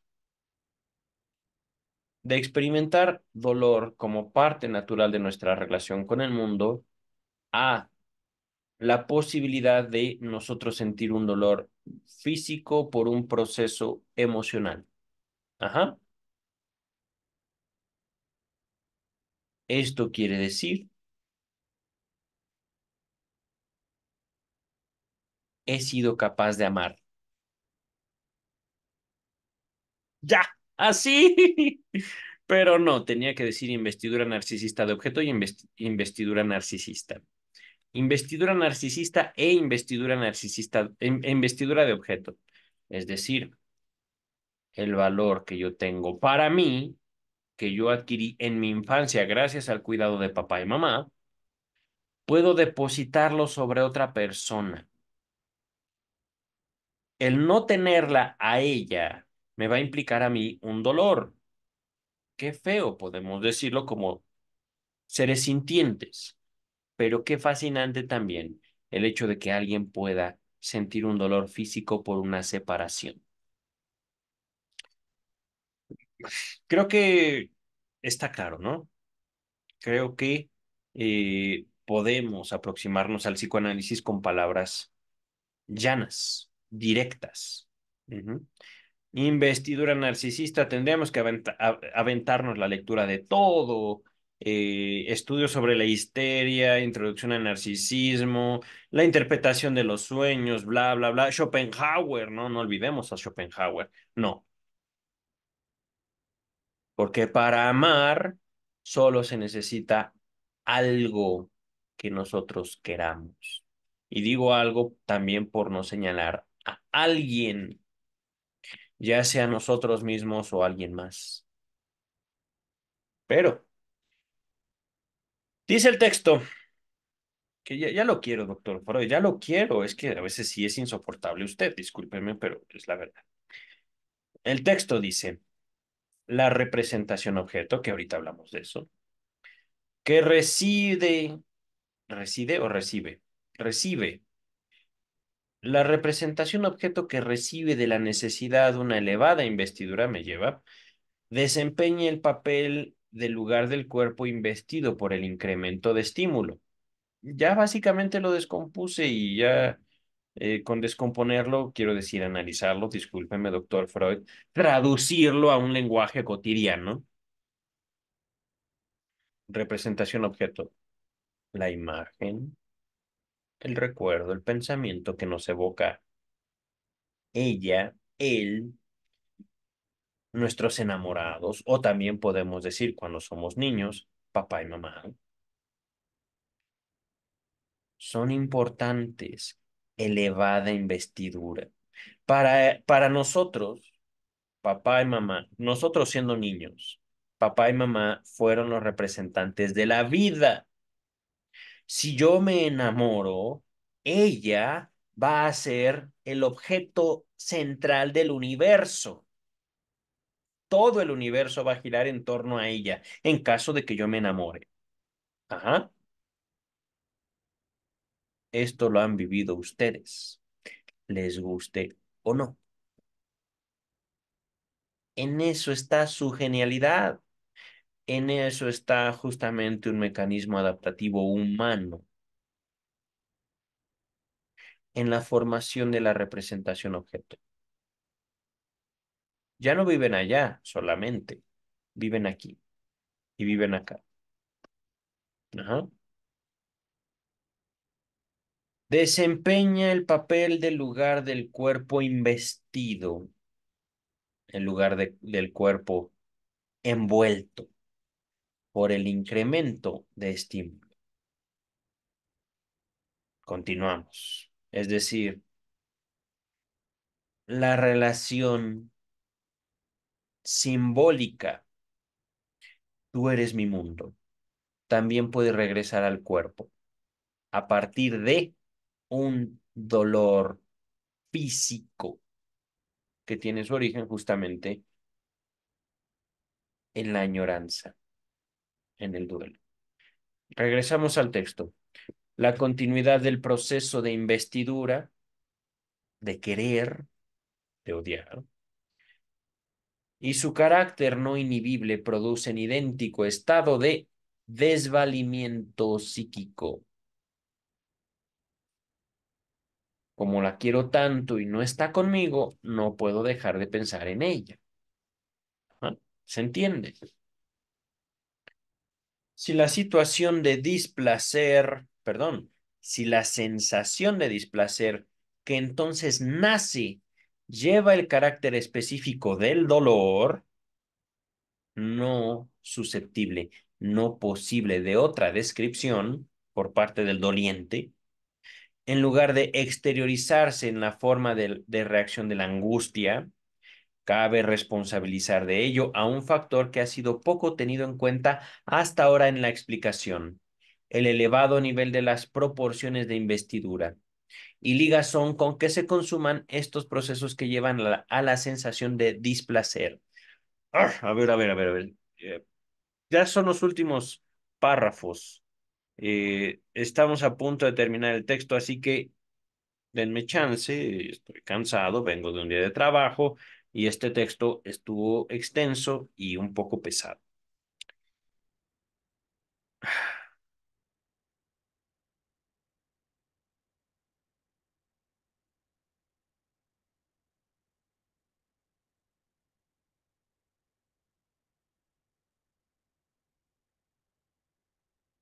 Si un conflicto por una separación se manifiesta en un dolor físico antes que en la angustia, esto se debe a esa relación que se estableció entre el objeto amado, la intensidad de ese amor y esa particular parte del cuerpo.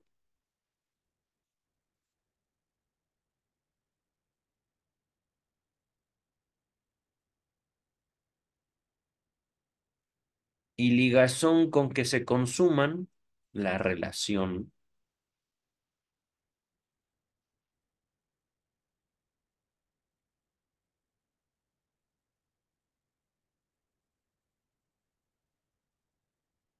que llevan a la sensación de displacer. Nota 19. Véase más allá del principio del placer y el proyecto. No me evoca esto a ninguno de esos textos, eh, Strachey.